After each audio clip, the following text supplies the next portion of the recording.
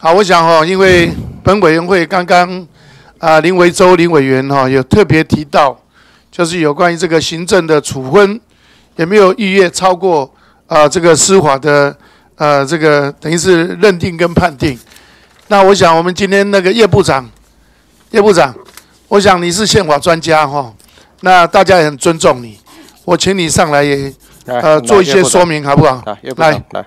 好，因为。确实，这个行政处分，你要是说今天超越，啊，这个整个司法，那其实我们当初也一直认为说，你要认为哪里不当，哪里不对，送这个司法调查，送监察院，我们都接受，其实我们都 OK 的。但是现在变成说，我就是一个委员会，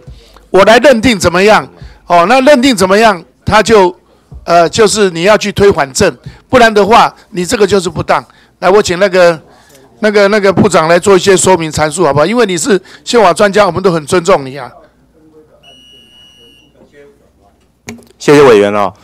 这个现在的处理方式有两个重点，一个是组织怎么设计，一个是程序怎么进行。组织的设计的部分采取的是委员会，啊，它的提名，它的什么有一定的一定的机制。那程序的部分，下一条还会提到，还要经过听证。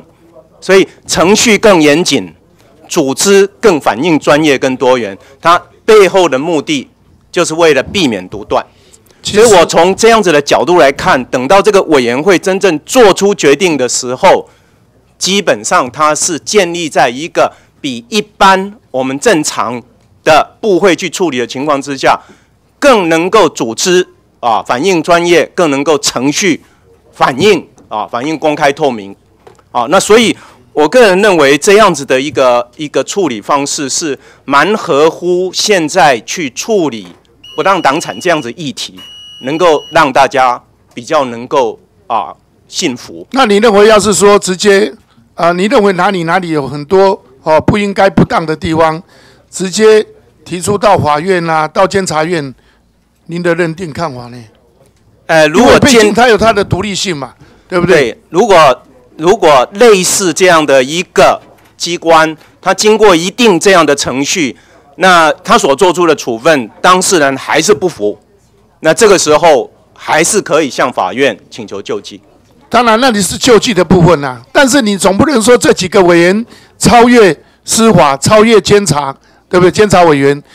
因为现在症结点就是在这里啊，因为我们今天要是没有司法制度，没有监察委员。那当然另当而论，我们是有，那有你要是认为说过去国民党所有的这些财产全部都是不法，你全部把它移送，然后让他们去做调查，哦，认为哪里不当，你就应该要归给国家。我认为那很合理吧？那个叶部长，你有什么看法？我对于大院现在在走的方向是希望让不当党产的认定跟处理变成行政用能够用更公开透明。然后能够程序上更能够让大家所接受的方式去处理，我认为这个方向是蛮值得认同的，就这个方向而已。那至于怎么样设计、详细设计，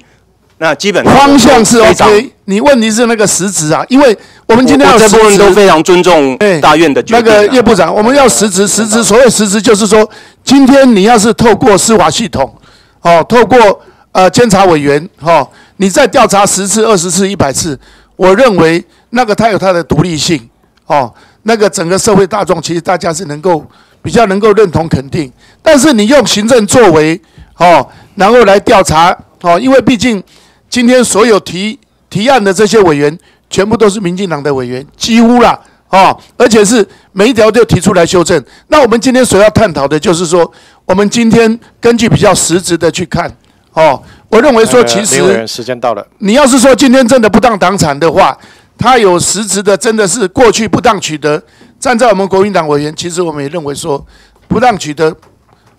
不不能留，一定要做处理。